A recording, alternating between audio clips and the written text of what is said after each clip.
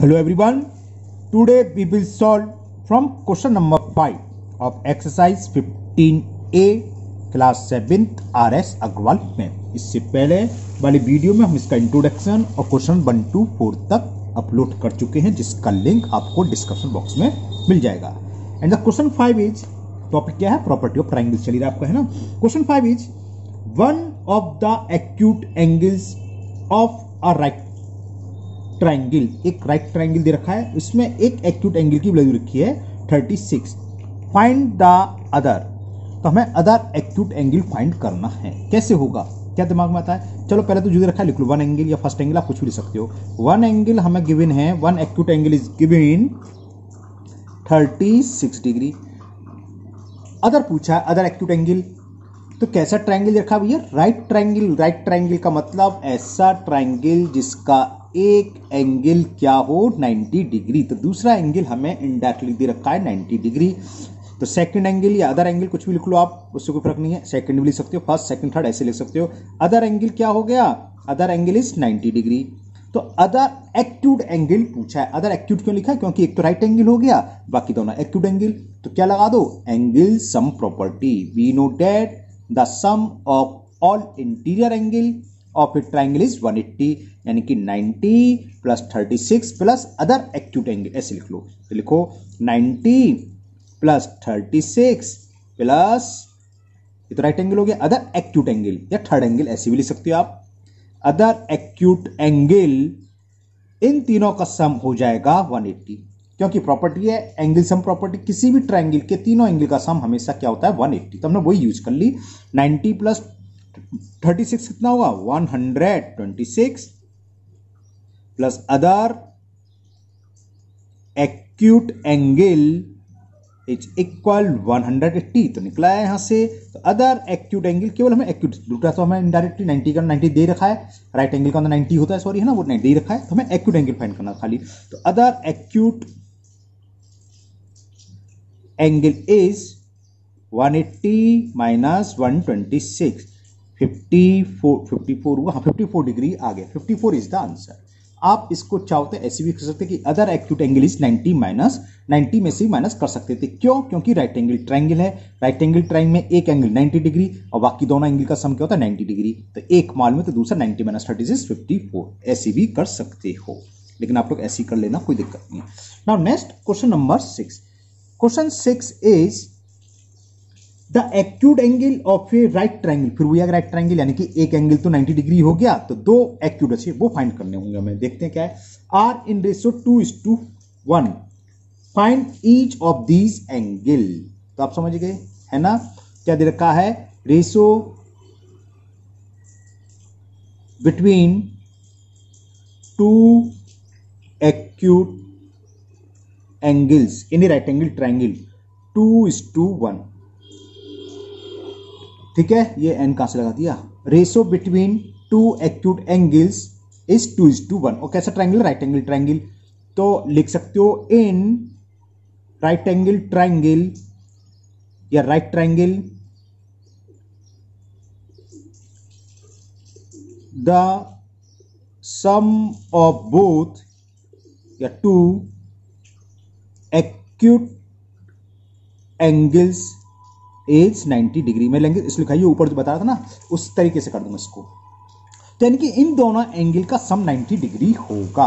Angle sum property की ज़रूरत नहीं है, इसको भी हम दो तरीके से कर सकते हैं। वैसे एंगल मान लेंगे 2x x और थर्ड क्या होगा? 90 degree 2x plus x plus ninety equal to one eighty. तो एक्स वैल्यू निकाल लेंगे सॉल्व करके। इसकी ज़रूरत नहीं है, इससे इस लैंग्वेज से काम हो गया। अब जब हमने ये भी बताया है, जब कभी भी कोई भी चीज़ रेशियो में दे रखी हो तो भाई मान लेते हैं न्यूमेरिकल वैल्यू उसके साथ सेम वेरिएबल लगा देते हैं। तो अब मानेंगे let the acute angles are two x and one x one x का मतलब एक्स डिग्री तो वही लिखने वाला हूँ मैं। Let acute angles are two x degree और वन एक्स वन एक्स का मतलब एक्स डिग्री तो इन दोनों का सम कितना होगा? ये हमने ऊपर लिख दिया। राइट एंगल ट्राइंगल में क्या होता है? Sum of two acute angle is 90 degree यानी कि टू एक्स प्लस यानी कि this implies two x plus x is 90 degree तो टू एक्स एक्स कितना हो गया? थ्री एक्स इज़ 90 डिग्री तो वैल्यू ऑफ़ एक्स थ्री से 90 30 टाइम्स कैंसिल तो ये एक्स की वैल्यू निकलाई तो फ़र्स्ट एक्यूट एंगल क्या है? टू एक्स लिख दो। फ़र्स्ट यहाँ लिख देता हूँ मैं। First acute angle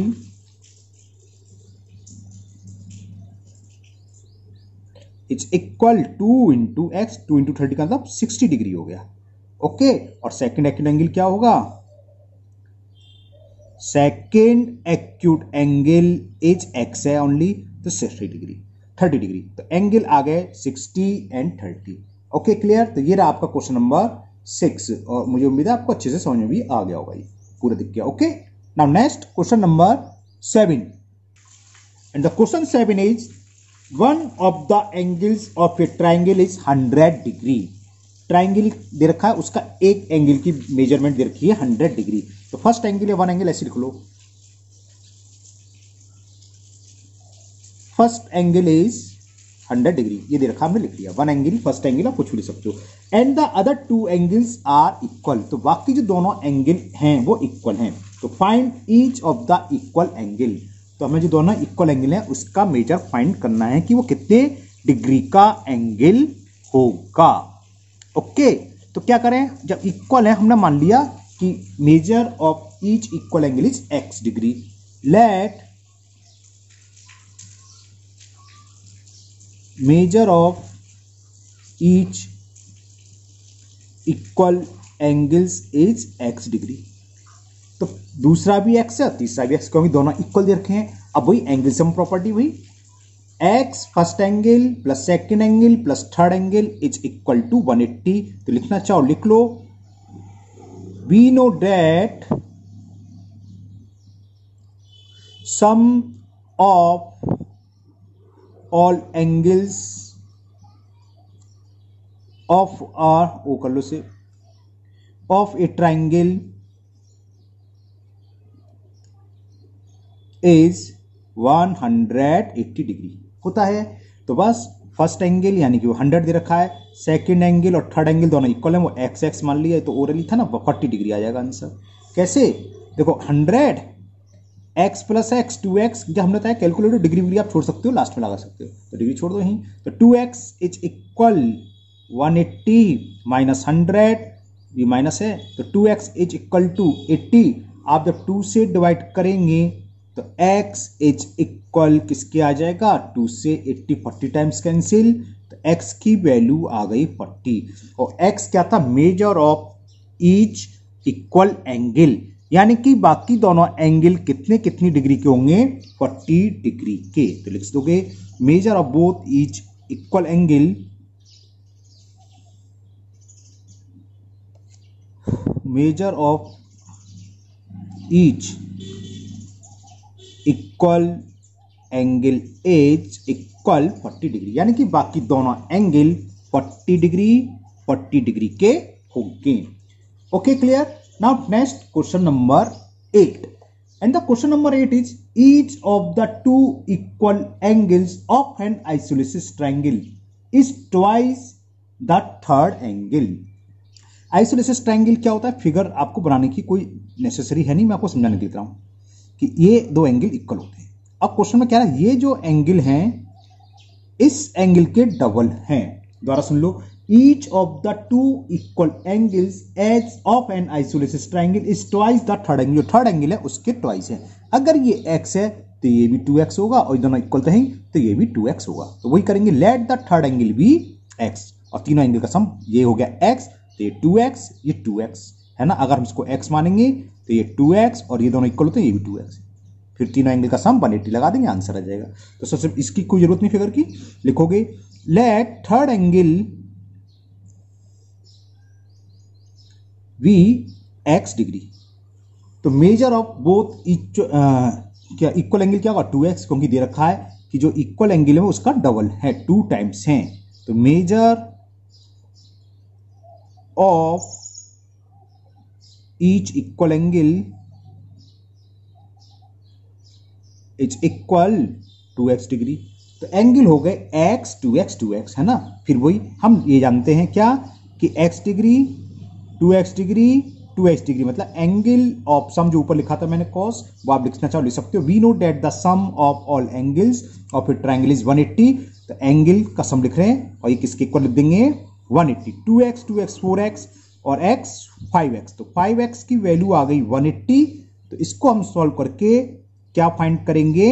value of x 5 से डिवाइड 5 बन जा 5 थ्री जा 15 5 सिक्स जा।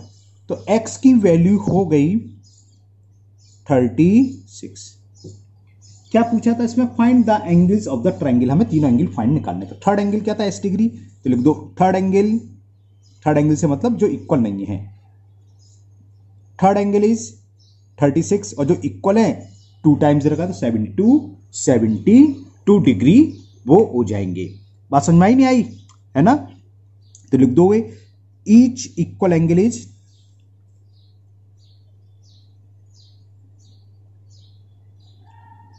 two times of thirty six seventy two degree. तो एंगल्स क्या हो गए?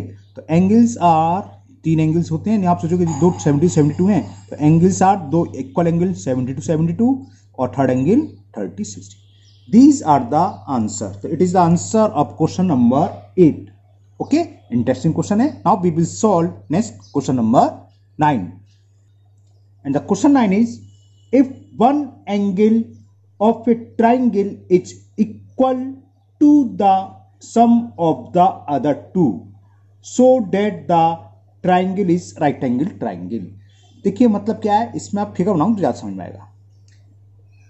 एक ट्राइंगल दे रखा है ए बी सी इसका एक एंगल, बाकी दोनों एंगल के सम के इक्वल हैं।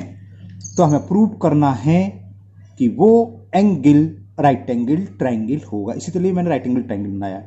अब ये होगा कैसे प्रूव? या तो आप फिगर बनाओ उसके, है ना? जैसे हमने ये फिगर मान ली, और नहीं है तो आप फिगर बनाने की ज़रूरत नहीं है। डायरेक्ट लिख सकते हो इन ट्राइंगल ए बी सी है ना?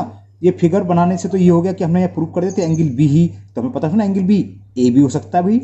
राइट एंगल ट्राइंगल सी भी हो सकता है। तो कायदे से क्या होता है? फिगर की कोई ज़रूरत नहीं होती, हम लिख देते हैं in triangle A B C okay कोई भी एक एंगल की वैल्यू किसके इक्वल रखी है? अदर टू एंगल के सम से।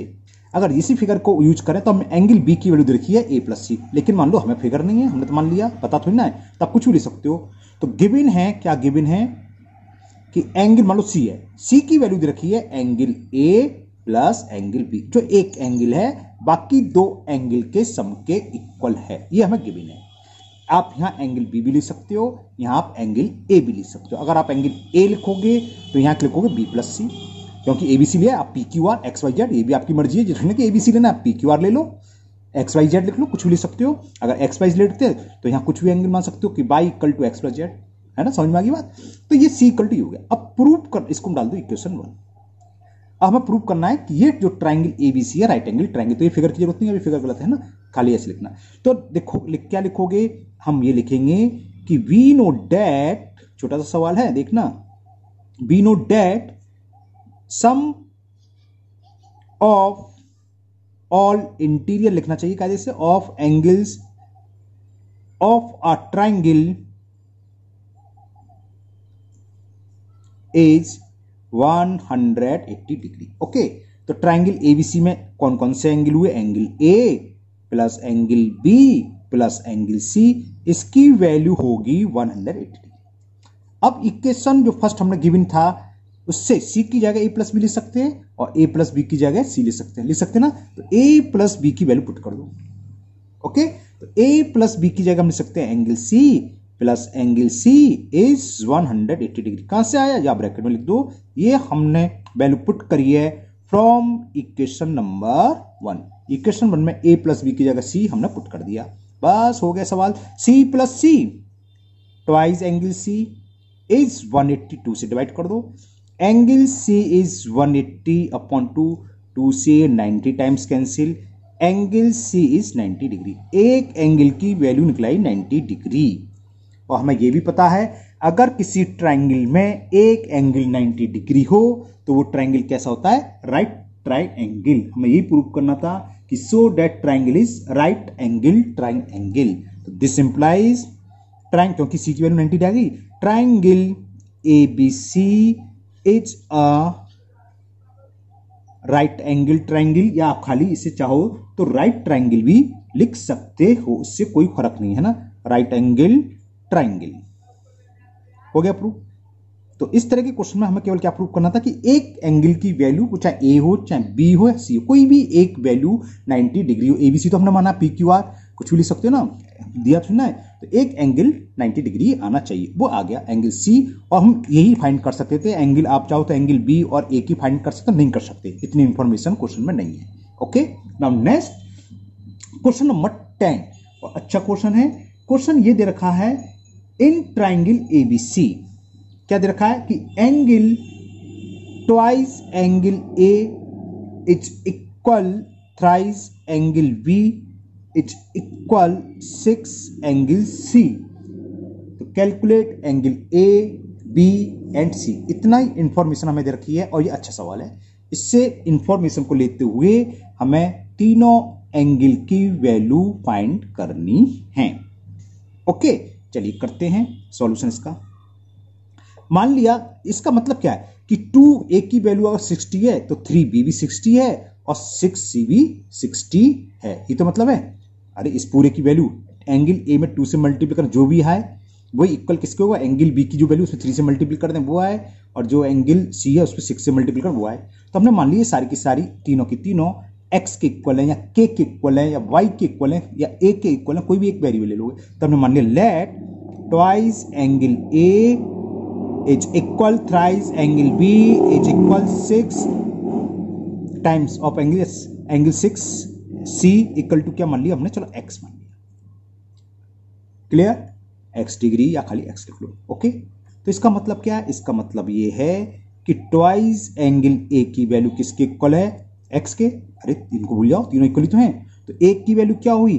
तो angle A is x upon two इसको आप दे दीजिए इक्वेशन नंबर वन क्लियर अब सेम ए और सी को भूल जाओ तो thrice B equal to x है and thrice angle B equal to x है तो इससे एंगल वी की वैल्यू क्या हो गई? एक्स अपॉन थ्री इसको आप सेकंड इक्वेशन दे दीजिए। Similarly six angle C equal to x है है ना? क्या? Six angle C is equal to x है तो एंगल सी की वैल्यू हो गई एक्स अपॉन सिक्स डिग्री ये हो गई इक्वेशन थर्ड अब अगर किसी तरह एक्स की वैल्यू फाइंड हो जाए तो एक्स की वैल्यू यहाँ पुट कर देंगे तो एंगल ए भी निकलाएगा एंगल बी भी फाइंड हो जाएगा एंगल सी भी हो जाएगा। तो ये कैसे यूज़ होगा? ये एंगल सम प्रॉपर्टी से यूज़ होगा। सॉल्व होगा कैसे? कि बी नो डेट चलो लिख देते हैं। We know that sum of all चलो आप पूरा शब्द लिखी दू all interior angles of a triangle is 180 degree means angle A plus angle B plus angle C इन तीनों एंगल का सम कितना आएगा? 180 डिग्री और A B C equation first second third से पुट कर दो। ए की value x by two B की वैल्यू एक्स वाई थ्री और सी की वैल्यू एक्स वाई सिक्स यानी कि हमें क्या दे रखा है? हमें ये दे रखा है x upon two plus x upon three plus x upon six, इन तीनों की वैल्यू इसके इक्वल है one eighty two three six का एल्सियम ले लीजिए। क्या आएगा भाई सिक्स आ जाएगा, ये तो आपको अच्छे से पता है। सिक्स आ गया एल्सियम। टू का डिवाइड सिक्स में three times three into x three x three का डिवाइड सिक्स में two times two into x two x six का divide six one time one into x x is one eighty ये कितना हो गया? Three x plus two x five x five x और x six x तो ये आया six x upon x is one eighty x से, ओहो, हो, ये सिक्स मैंने एक्स लिख लिया। सिक्स है ना? सिक्स से सिक्स कैंसिल सिक्स ही तो है। सिक्स से सिक्स कैंसिल तो वैल्यू ऑफ़ एक्स आ गई वन एट्टी तो value of x one eighty आ गई तो इसकी वैल्यू को यहाँ पुट कर दो angle A one eighty upon two निकलाया ninety degree यानी कि ये भी राइट एंगल ट्राइंगल था। तो चलिए पुट कर दो ये है ना? तो देखो एंगल ए की वैल्यू क्या हो गई? तो angle A is x upon two one eighty upon two two से ये नाइन्टी टाइम्स कैंसिल तो एंगल ए आगे 90 डिग्री एंगल बी कितना है? एक्स अपॉन थ्री तो one eighty upon three three से ये 60 टाइम कैंसिल एंगल बी की वैल्यू आ गई 60 डिग्री एंड एंगल सी वो दे रखा एक्स अपॉन सिक्स तो 180 एट्टी अपॉन सिक्स सिक्स से कैंसिल हो गया थर्टी टाइम्स तो angle C is thirty degree तो A 90 degree B 60 degree and angle C will be 30 degree okay तो आज के वीडियो में हम इतने ही क्वेश्चन करेंगे। क्वेश्चन नंबर 11 टू 15 वो हम लोग नेक्स्ट वीडियो में करेंगे। मुझे उम्मीद है आपको ये क्वेश्चन बहुत अच्छे से समझ में आ गए होंगे, है ना? और खूब इंटरेस्ट भी आ रहा होगा। अगर आपको कोई प्रॉब्लम है, कोई भी किसी क्वेश्चन में डाउट है तो वो आप लोग कमेंट बॉक्स में कमेंट कर दीजिए। मैं कोई एक वीडियो में सारे सॉल्यूशन को लिख के स्टूडेंट्स प्रॉब्लम नाम से उसका टाइटल दूँगा और वीडियो अपलोड कर दूँगा, है ना? और अगर आप पहली बार चैनल पर आए हों तो चैनल को सब्सक्राइब करना ना भूलें। साथ ही साथ बेल आइकन को ज़रूर पुश कर लें, जिससे कि इसके आगे का पार्ट मैं जब भी अपलोड करूँगा, वो आपका मिस नहीं होगा, उसका नोटिफिकेशन आपको मिल जाएगा। इससे पहले कि आपको कोई भी क्वेश्चन चाहिए, इससे पहले तक सारे एक एक क्वेश्चन हो रहे हैं, वो आप प्लेलिस्ट में चेक कर सकते हैं। Class six R S Agarwal math नाम से प्ले लिस्ट है। अगर एनसीईआरटी की कोई प्रॉब्लम हो तो क्लास सिक्स एनसीईआरटी मैथ नाम से प्ले लिस्ट है, उसमें देख सकते हैं। ओके साथ ही साथ इस वीडियो को अपने दोस्तों को शेयर करिए। फिर मिलते हैं नेक्स्ट वीडियो में। Thank you have a nice day